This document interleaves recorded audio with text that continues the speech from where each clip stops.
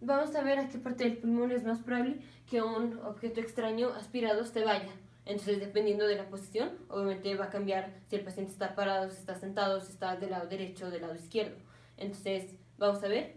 Primero recordemos cómo está la anatomía de los pulmones. Entonces tenemos la tráquea. Aquí está la tráquea. Vamos a tener el bronquio primario y, bueno, los bronquios primarios. Entonces, aquí está el lado izquierdo del paciente, aquí está el lado derecho. Recordemos que estamos viendo al paciente así. Entonces, este es el bronquio izquierdo, el bronquio primario, y este es el bronquio derecho primario.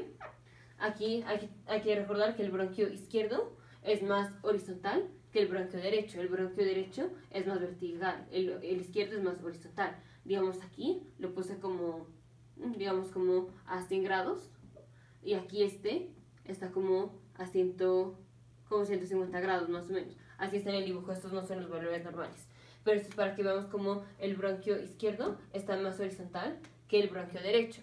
Entonces, hasta aquí, ¿qué pasa? Si el paciente aspira un objeto extraño, el paciente aspira un objeto extraño, digamos una moneda, ¿a dónde es más probable que se vaya? ¿Al bronquio izquierdo o al bronquio derecho?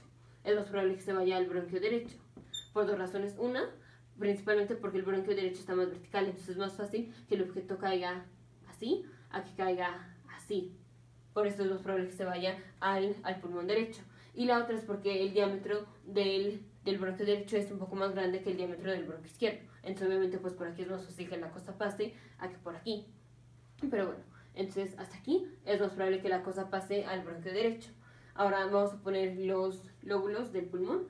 Aquí tenemos el pulmón, el pulmón izquierdo, que es más o menos como así. Entonces tenemos lóbulo superior, todo es el lóbulo superior. Lóbulo superior. Y esto que está aquí es la língula, la língula del pulmón izquierdo. Que digamos, esta es la proyección que tiene o la impresión que tiene el corazón. Recordemos que aquí va el corazón. Entonces, aquí está el corazón, más o menos así. Entonces, esta parte del corazón comprime el pulmón y por eso en el pulmón izquierdo nada más tenemos como dos lóbulos, o un lóbulo y la língula que es como si fuera el lóbulo inferior. Entonces, esta língula es la que está en contacto con el corazón. Y aquí tenemos el pulmón derecho, pulmón derecho que hay uno, que se divide en tres lóbulos, lóbulo superior, medio y el inferior, superior, medio y el inferior. Y pues ya tenemos que los bronquios se van a dividir, primero vamos a tener los bronquios secundarios, que va a ser un bronquio para cada lóbulo, entonces aquí vamos a tener bronquio secundario, bronquio secundario, aquí igual bronquio secundario, uno que va así, otro que va aquí y otro que va así. Bueno, ya cambió de color, pero bueno, aquí tenemos tres bronquios secundarios, aquí tenemos dos bronquios secundarios y luego se van ramificando más dependiendo de los segmentos de cada uno de los lóbulos. Tenemos segmentos superiores, segmentos posteriores, segmentos anteriores y así, pero bueno. Entonces, ahora sí vamos a ver qué pasa si el paciente aspira un aspira un objeto, un objeto extraño y está en posición supino. Si está en supino, o sea, va a estar acostado, si el paciente está acostado, así está el paciente,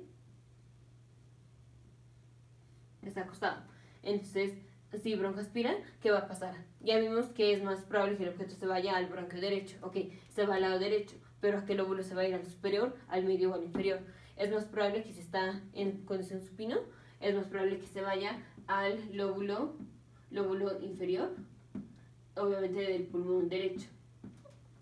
Eso tiene que ver con cómo se distribuye el pulmón. El pulmón no es pues así, digamos, homogéneo, sino que está un poquito más anterior aquí, un poquito más posterior aquí, y cuando el paciente se acuesta, el lóbulo inferior queda de manera más posterior y queda de tal manera que es más probable que el objeto extraño caiga al lóbulo superior, al lóbulo inferior, al lóbulo inferior.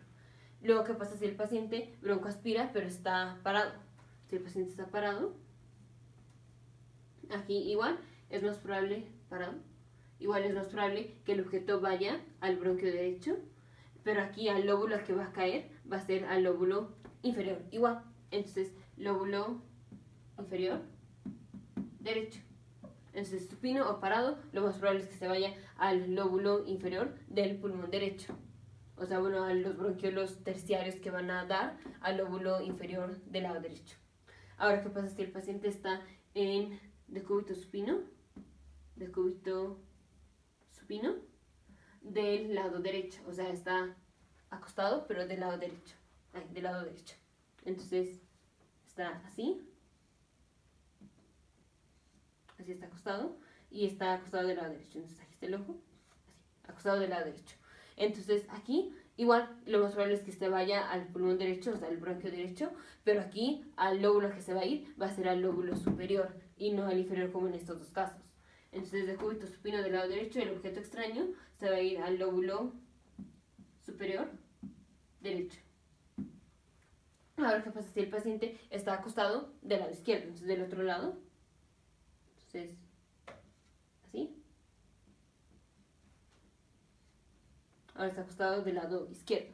Si está acostado del lado izquierdo, entonces en decúbito supino izquierdo.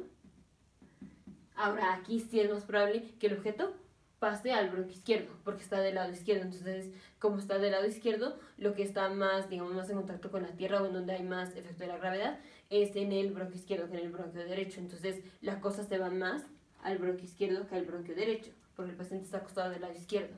Entonces, aquí se va a ir al, al bronquio, bueno, el bronquio izquierdo, pero generalmente es a la língula. Entonces, se va a ir a la língula del pulmón izquierdo. Entonces, Ahora sí, en resumen, si el paciente está en, en supino, o sea, si está acostado o si está parado, lo más probable es que el objeto aspirado se vaya al lóbulo inferior del, del bronquio derecho o del, del pulmón derecho. Si el paciente está en decúbito supino del lado derecho, lo más probable es que el objeto extraño se vaya igual al lado derecho, pero ahora va a ser al lóbulo superior, al lóbulo superior.